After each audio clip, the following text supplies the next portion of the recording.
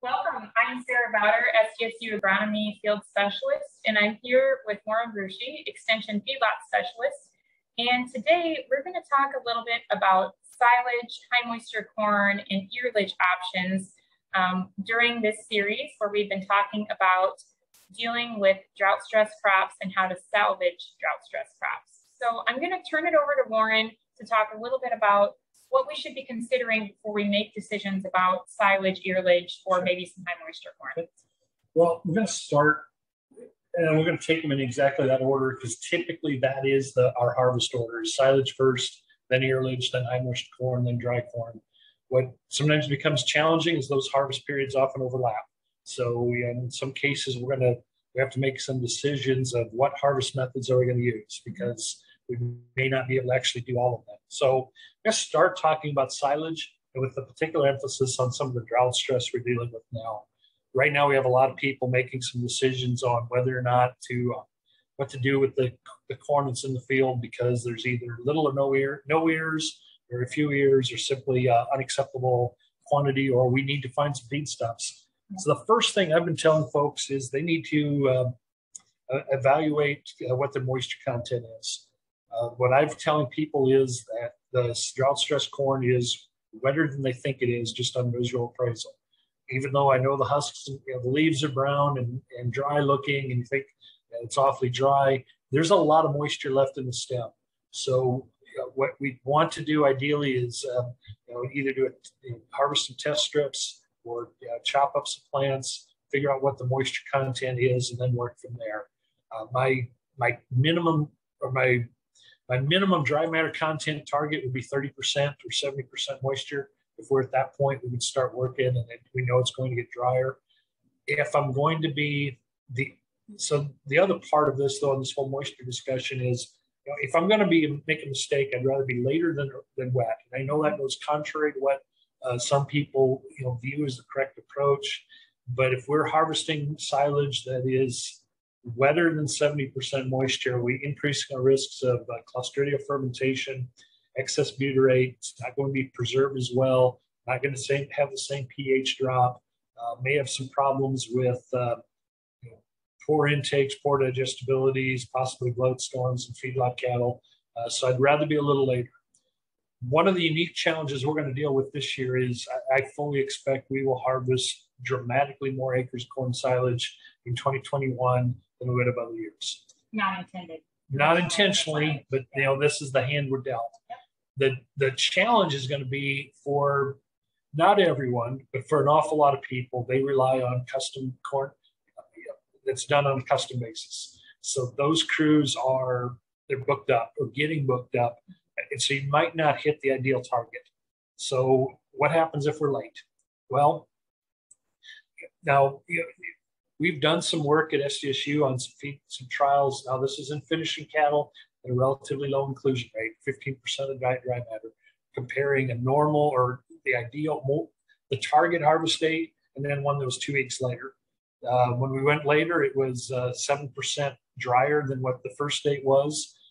And we saw no difference in those cattle. Now, that may not be true in every instance, but I think by and large, we should be, I think that'll hold true because with the delayed harvest, we got more starch accumulation, so greater energy content, less fiber, more starch. The, the challenge with the delayed harvest isn't so much what the quality of the corn plant is or the nutrient composition, it's can we get that preserved. Uh, drier silage is harder to pack, uh, harder to exclude oxygen, so it's more susceptible to aerobic instability. One approach to deal with that, there's two. You know, we could add water to it which hard to do. Hard to do. There's a hassle factor. You know, we got to you know use probably use a mixer wagon and use that scale and and yet at the speed of a commercial custom chopping crew, it's probably not practical to do. I know a lot of sources say the garden hose isn't enough. You need right. You need yeah. you, know, you know, and, and, we could talk about that. That is it is an option on some of the high moisture corn because now we can do a point source right at the grinder, sure. but we can't do that real well on the silage. The other option is we'll just chop it finer so we can pack it. Now, I know that goes against some of the more recent conventional wisdom on how we chop silage. And it depends too, depends very much on what we're feeding it to and what else we're feeding. If we're talking dairy cattle, what I'm about to tell you makes no sense, and you're probably all the dairy audience is going to go, he's wrong, he's wrong, he's wrong. However, if we're feeding beef cows or growing cattle or finishing cattle, if and especially on the cow calf and the growing cattle where we're also feeding some other ground roughage that might be low quality, longer particle length, we can get away with chopping the silage finer to pack it easier. And I know you and Kieran on the you know those on the test silos that you guys did with different harvest, different packing densities, different harvest lengths, it was a lot easier to hit those targets with the shorter shorter chop length. So if I am feeding a set of stock cows or a set of feed or finishing growing cattle, where you know, I'm less concerned with with effective fiber, the, and I know we've missed the target, we're drier than we want to be. I'm going to tell the chopper to uh, put shove the knives closer together. Let's chop it finer.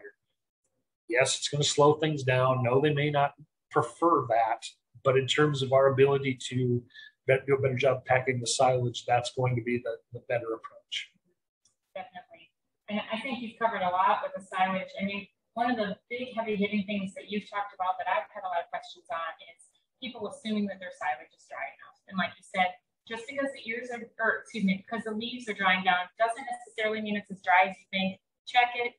We say three quarter milk is a trigger to start checking moisture. You know, so check your moisture. It might not be as dry as you think.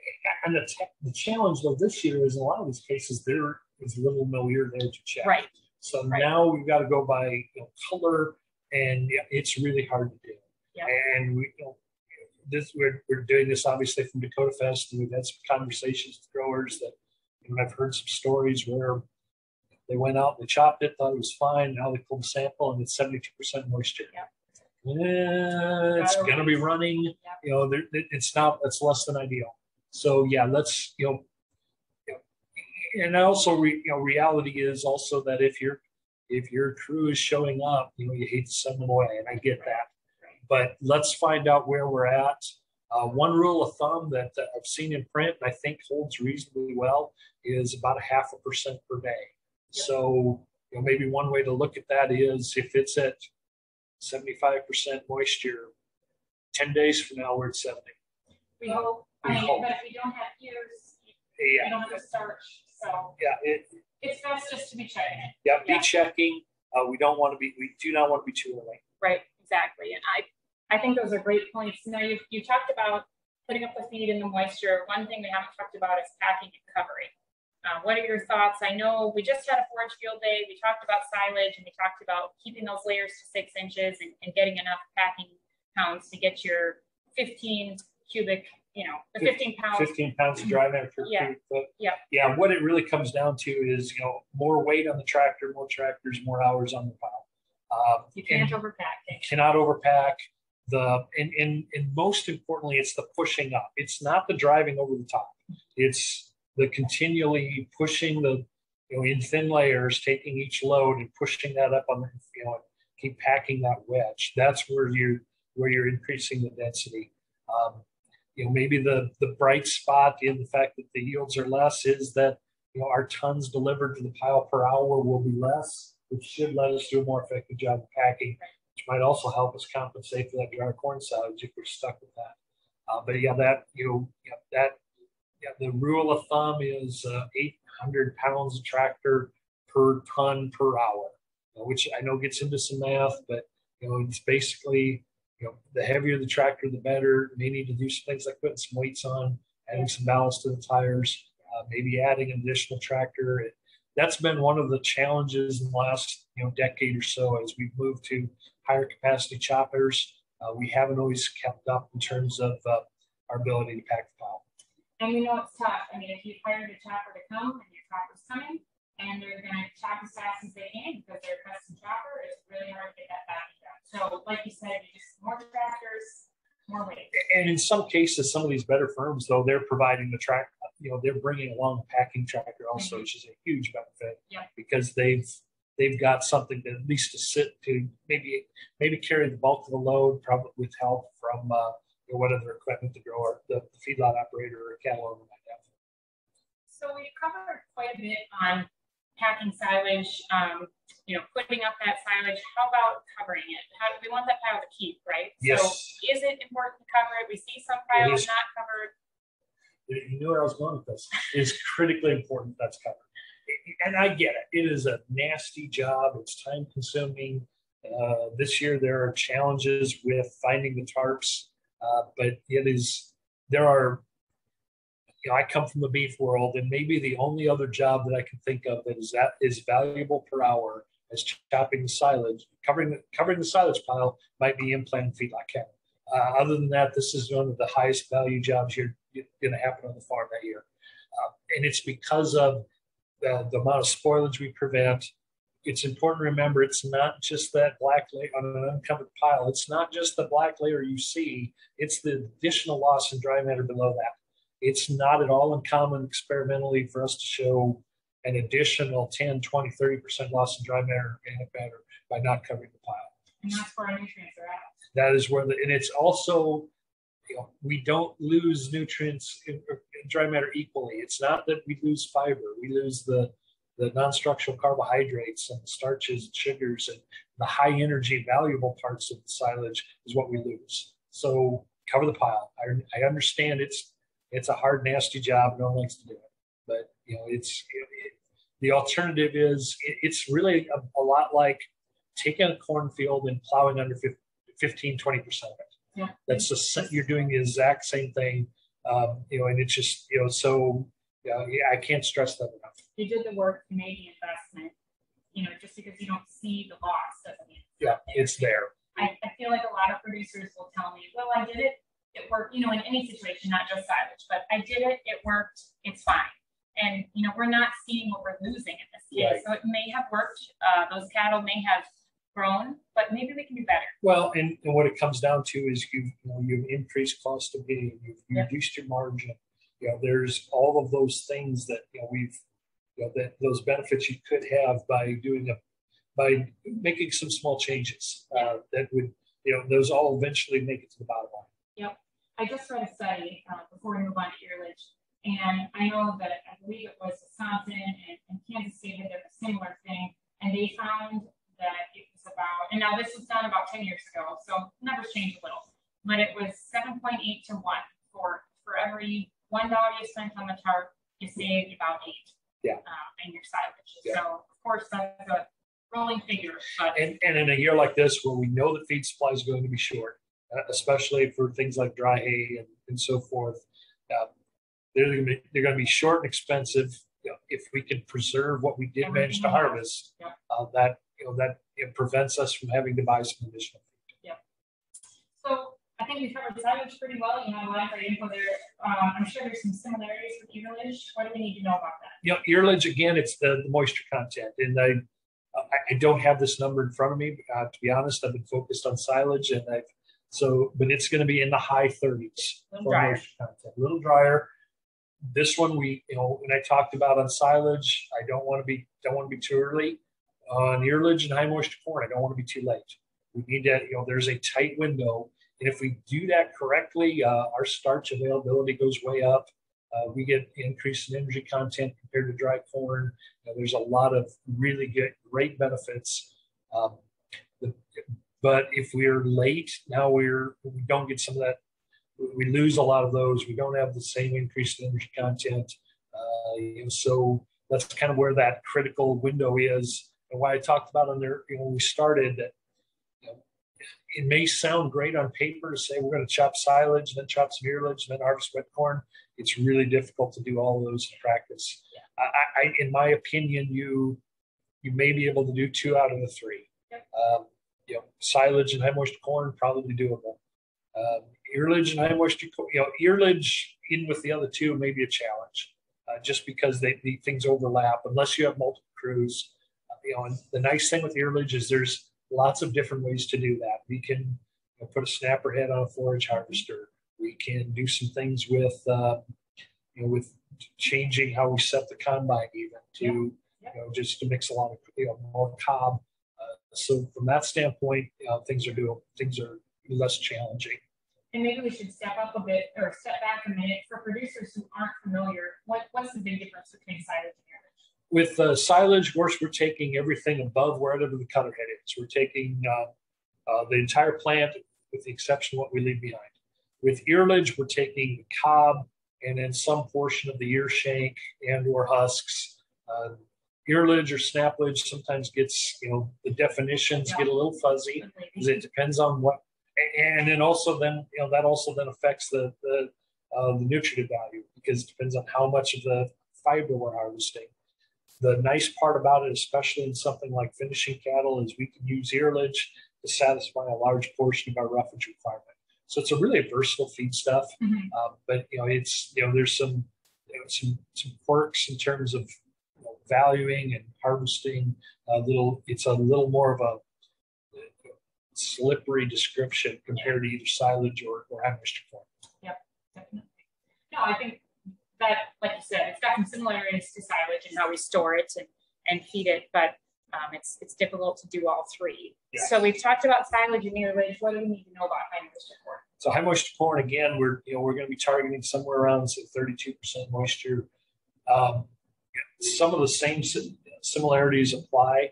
Uh, we haven't talked about inoculants, but I would certainly definitely use those on earlage and high moisture corn. With high moisture corn, if we're storing it in a bunker or pile, it needs to be ground, uh, either rolled or hammer mill. Uh, both there's pros and cons to both, but we do need to process that before we put it in the pile, and we're doing that to reduce particle size, to let us pack it better and eliminate oxygen. Um, one nice thing is I rarely, if ever, see an earlage or a high moisture corn pile that's not covered. So, you know, I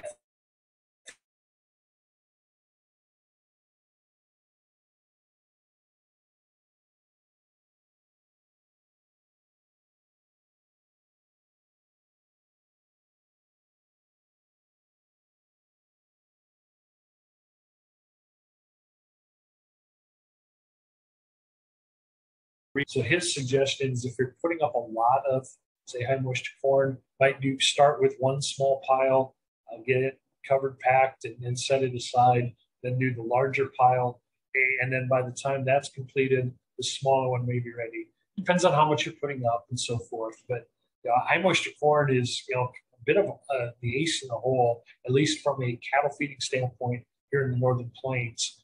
If we do that correctly, we can have an energy value that comes very close to what, what they observed with steam flake corn in the southern plains. Only we can do it without that added investment in uh, milling equipment and, and, energy costs.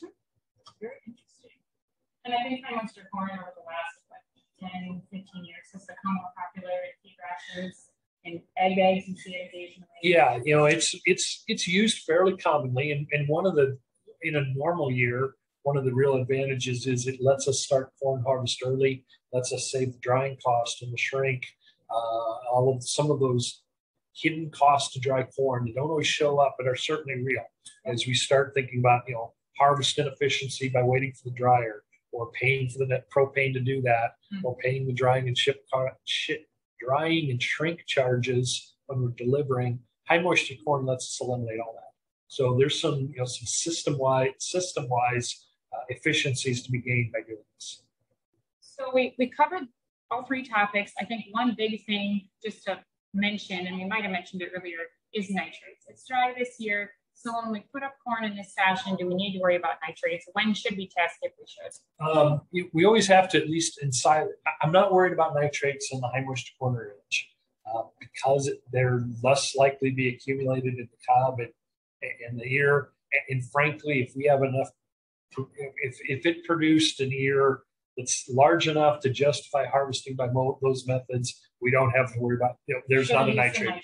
the nitrogen's used up, so I don't worry about that. On the some on this drought stress corn, yes, we have to be concerned about it.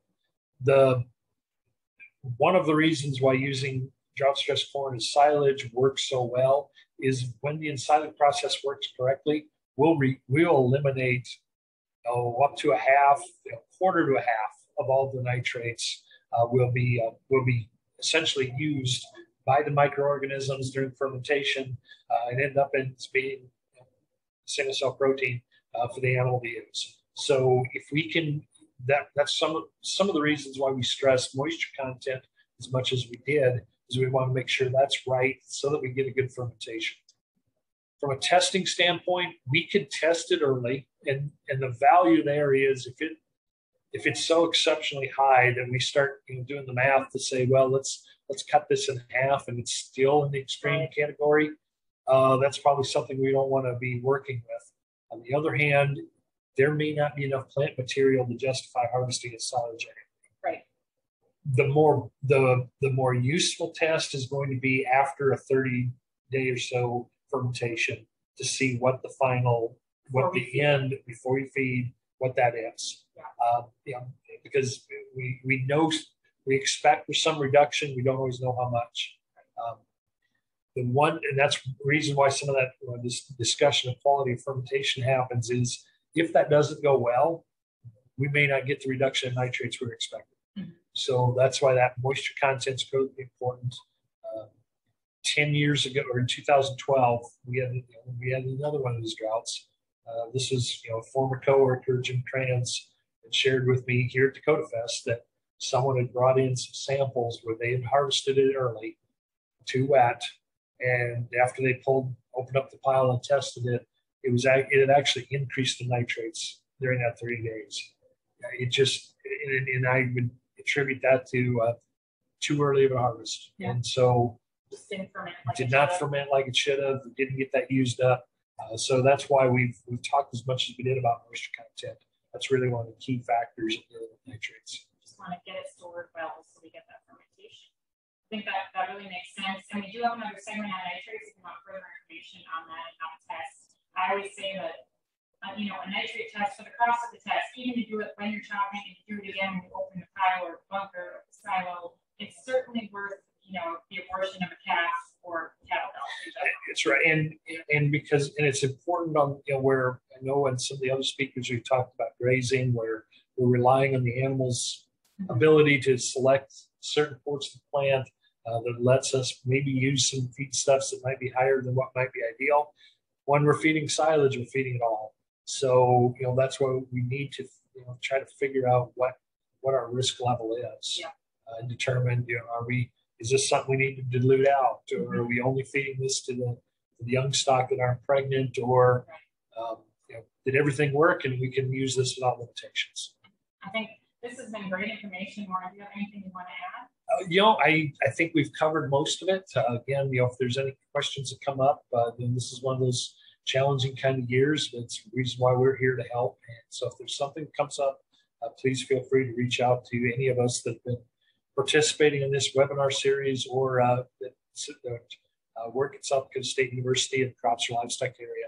Uh, we'll do all we can to assist you in, uh, in providing information you need to fix your problems. And I think the last thing I'd add is we talked about some things that really remove, especially silage, removing a lot of biomass from the field. Um, and so something to think about is to check out our cover crop segment in this recording series because we really want to get something out there to protect that field for a lot of reasons. But this year, especially with our dry weather, we really want to be protected from the wind erosion situation. Excuse me. We want to add our uh, water infiltration as high as we can to, you know, collect as much water as we can this fall and this coming spring. So getting something out there, um, there's a lot of options for that. I know it's dry, but there's still some recommendations that may be a good option for you and your operation. So do keep that in mind if you end up doing something that removes all the biomass from the field. You know, and, and another option is even, you know, you know, there's no reason why we couldn't leave some strips to catch some snow or leave some ground cover. Yep. Or, you know, and I've seen a lot of these fields that are really up and down and some of those areas that are awfully short where there just isn't much there. You know, maybe those we just leave in the field and Yep. cut around them.